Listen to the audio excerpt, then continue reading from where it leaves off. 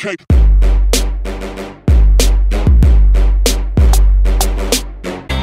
worry about a thing. Don't worry about a thing. Don't worry about a thing. Yo guys, what is going on? It is Matt from Fidelity Gaming TV, and if you think about it, that song is that song is kind of ironic actually. It says "Don't worry about a thing," but I mean, your Padres are in the playoffs. Isn't that what you're supposed to do as a fan? Is to worry and wonder if your team can go all the way and win the World Series? Well, anyways, that's just a thought. Um, yeah, today we got the uh, playoff preview, and you saw it first here. Your Padres are taking on the Washington Nationals in the 2015 NLDS, and you can see here the um, GM rating has been bumped up to a B.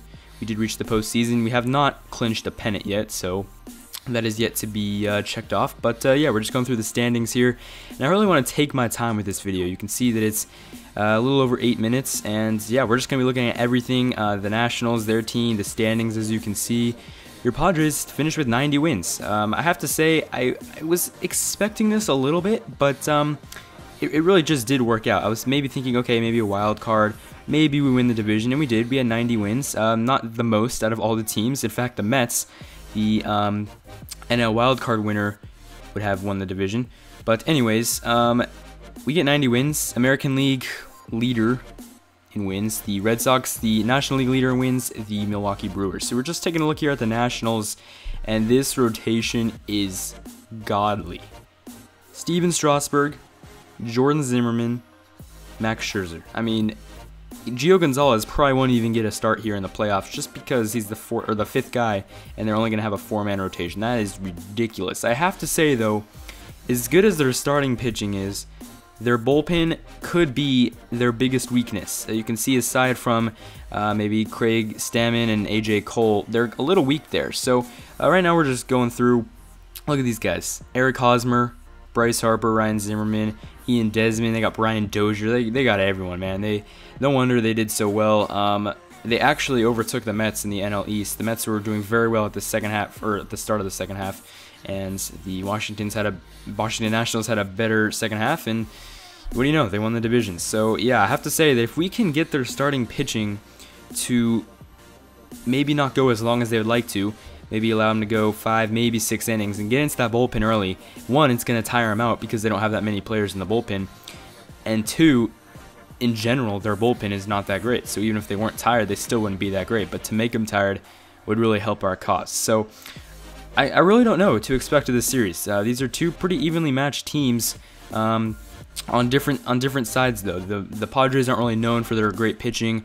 Uh, they're known for clutchness. Um, I guess they have a pretty solid team. There's no one star on this Padres team. They just kind of all do it together as a team, which is what you're supposed to do in baseball. It's a team game. So uh, here's our rotation. I think we're gonna put Noah Syndergaard in the bullpen just because I want him to play, obviously, but I don't know if he's gonna get a chance to um, enter the rotation. It's probably gonna be cut down to a four-man rotation. But like I said, I do want to play him. You see. Um, really had a tough year. Um, 0-2, just didn't really look sharp at all. Uh, but Shawn Kelley, uh, even Dale Thayer didn't look bad. But Nick Vincent, all those three just looked phenomenal. Nick Vincent made the All-Star game, and of course Craig Kimbrel, the closers. So I really do not know what to make of this series. Um, obviously, the Nationals have strengths in all areas, mainly their starting pitching because they have um, three starters that are 95 overall plus, and even Doug Fister, their fourth starter, is at 87 overall. So um, it's going to be tough to score runs. Sometimes the Padres have these games where they don't really, you know, they don't really, they just can't get anything going. They don't score, they don't hit, they don't do anything. And that's what's worrying me a little bit here. Aside from Justin Upton, Matt Kemp, Wil Myers, I don't know. Yonder Alonso has gotten hot. Um, Will Middlebrooks, I mean, yeah, nobody really like stood out to me on this Padres team. Matt Kemp was hitting over 300 at a point, but now he's not. It's basically him, Upton, Myers, and even um, Yonder Alonso. But uh, yeah, I, I, I just the question is, can the Padres bats overcome the Nationals pitching? I think that's really the key here. And like I said, if we can get into their bullpen and early and make them tired each and every game, then you know we have a decent chance. So here is the bracket for the world or for the playoffs Yankees win the wild card game in the AL against the Houston Astros. They'll be taking on the Red Sox. That'll be a good series. Then you got the Angels and the Tigers. In the NL, the Mets won the wild card against the Cardinals and will be playing the Milwaukee Brewers. Meanwhile, you have the Padres and the Nationals. So, uh, predictions here. I'm going to go with Detroit over Los Angeles. I want to go with uh, Boston over New York. And in the NL, I think I'm going to go with your Padres. I really don't want to be too biased in this, um, but here's the reason why. I think your Padres have what I said is a really, really good, solid team game. Their bullpen is pretty good for the most part. Their starting pitching isn't amazing compared to the Nationals, but it is it is good enough, I think. And they just always seem to just kind of come together when it counts and play a very good, solid type of baseball. And I think that's what's going to propel them over the Nationals. Now, I could definitely be wrong. This Nationals team is stacked. Um, they only, what do they have? Three more wins than us, four more wins than us. It, it doesn't matter. I, I think that once you enter the playoffs, it's just about how your team is built. And I think this Padres team, even though it's not stacked, they're a very good team game. They play a very good team game. And I think that's what you need in the playoffs to survive the divisional series, the, the championship series, even the World Series. You need to go through those three rounds.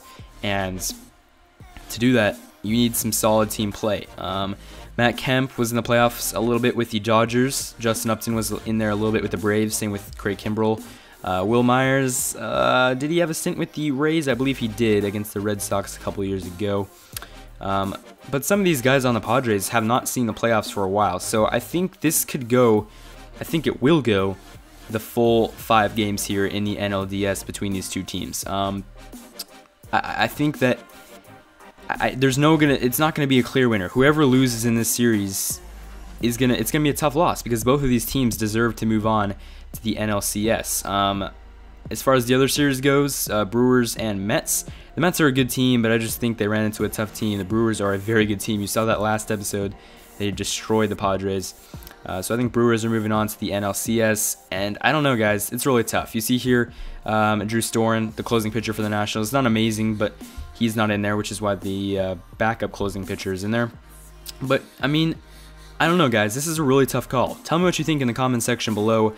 I really think that your Padres have a chance, but like I said, whoever loses this series, it's just going to be a tough loss. Both these teams have had a very good season, especially for the Padres coming back on top of their division. I'm really excited. Next episode is game one of the NLDS between the Padres and the Washington Nationals. Hope you guys enjoyed this playoff preview. Make sure to give it a thumbs up. Make sure to subscribe and peace.